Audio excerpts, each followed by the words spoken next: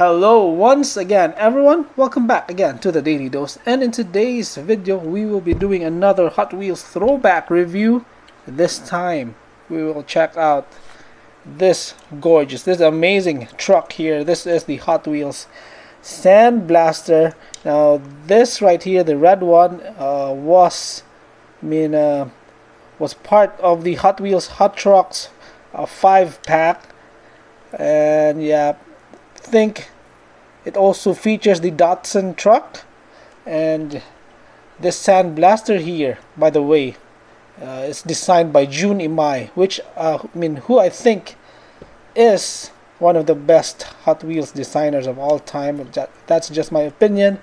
And uh, this casting uh, made its debut back in 2010 so it's been 10 years already since this came out. This also had a super treasure hunt version uh, that was green with some yellow accents and uh, has a removable part here. Some uh, sandblasters have removable part here, but this one doesn't have.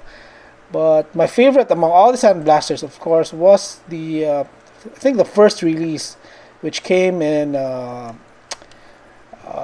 olive green uh, with some camos on it, and it, it it was just amazing. But yeah, this one here, the red one, again, released two years ago, part of the Hot Wheels Hot Trucks 5 pack. And it is a beautiful car here, beautiful truck, beautiful casting. So let's check out the tampos on this truck. It says M&M 541. I don't know what this means. So maybe you do know. Kindly comment down below. YCY, Flynn, Cruffy, and the Hot Wheels logo right there. And some artwork right there on the side of the body. Uh, it has plastic base, of course. This is a mainline car. Uh, fog lights here. It's part of the uh, windshield, and it's it has some details right there.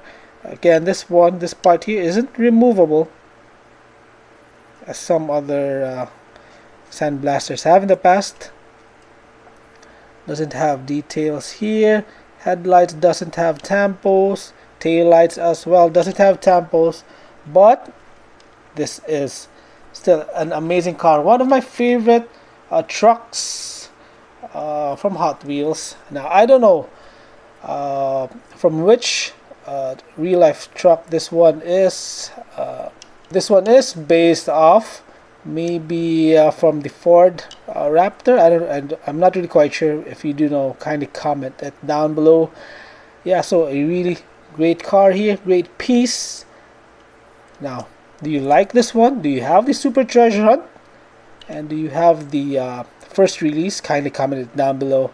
I'm really really uh, curious to find out. And uh, yeah let me know guys. So great truck here from Hot Wheels. Love this one, by the way. So that is all for our uh, quick Hot Wheels throwback review here of the Hot Wheels Sand Blaster. I hope you, you enjoy this one. If you did, please smash the like button, subscribe if you haven't yet, comment down below your thoughts on this gorgeous truck.